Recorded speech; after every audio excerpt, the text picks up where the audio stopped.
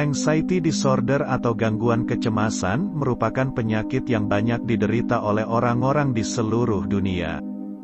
Penyebabnya bisa bermacam-macam, mulai dari trauma, maupun penyakit fisik seperti asam lambung kronis atau GERD.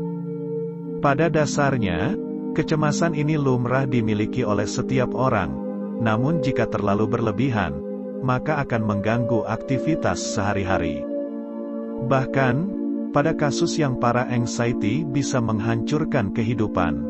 Bayangkan saja, si penderita mau ke tempat ini takut, Mau berada di keramaian takut, ke mana pun akan merasa takut atau cemas. Takut tiba-tiba pingsanlah, takut kenapa-kenapa dan berjuta kecemasan aneh-aneh yang belum tentu terjadi. Salah satu solusi yang cukup membantu untuk mengatasi gangguan kecemasan adalah dengan menerapkan afirmasi positif yang bisa mengubah ketakutan Anda. Afirmasi positif untuk anxiety ini dapat meyakinkan pikiran Anda, bahwa tubuh Anda kuat, dan sebenarnya kecemasan maupun ketakutan yang ada dalam pikiran Anda itu tidak seperti yang Anda bayangkan.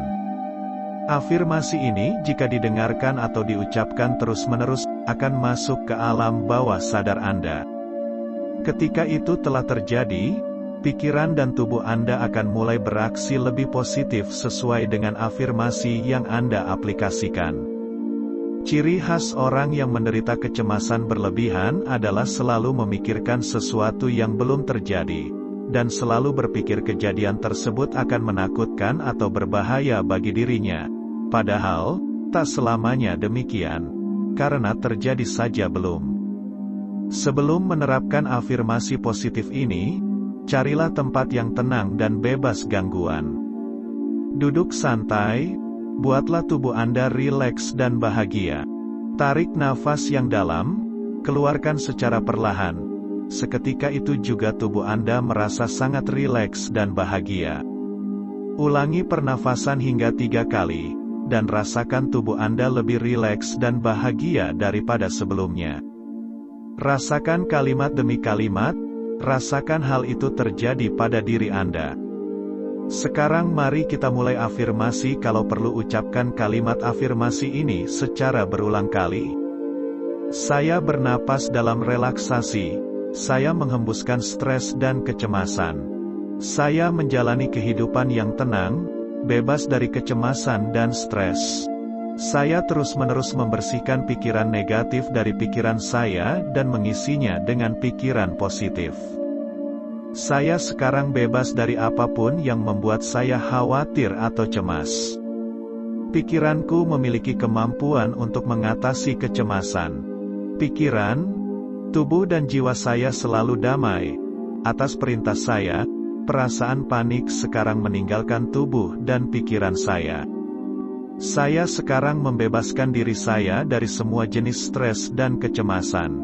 Saya memiliki semua yang saya butuhkan untuk menjalani kehidupan yang bahagia dan damai. Dengan setiap hembusan napas, saya menjadi semakin tenang dan damai. Saya merasa damai karena sekarang saya mengendalikan lingkungan dan pikiran saya. Seiring berjalannya waktu, saya tumbuh dalam hidup dan terus berkembang menjadi orang yang lebih baik. Saya sedang membersihkan pikiran saya dari semua keraguan dan ketakutan yang merusak. Saya menciptakan kedamaian dalam hati dan memiliki pikiran yang percaya diri. Saya melepaskan ketegangan, ketakutan dan stres. Saya sekarang hanya ingin melihat kebaikan dan kebesaran di sekitar saya. Saya pernah selamat dari situasi seperti itu sebelumnya dan saya akan bertahan sekarang juga. Saya kuat dan bisa bertahan.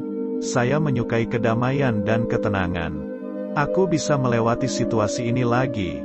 Aku bisa mengelola kecemasanku tentang kegagalan. Aku memegang kendali atas perasaanku. Aku dalam kontrol diriku sendiri. Apa yang aku cemaskan bukanlah definisi diriku sesungguhnya.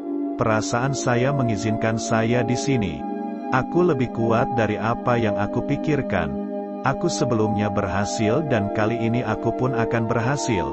Itulah beberapa afirmasi positif untuk menghilangkan kecemasan yang berlebihan yang mengganggu Anda. Dengarkan dan ucapkan berkali-kali hingga meresap ke alam bawah sadar Anda. Terima kasih dan semoga bermanfaat.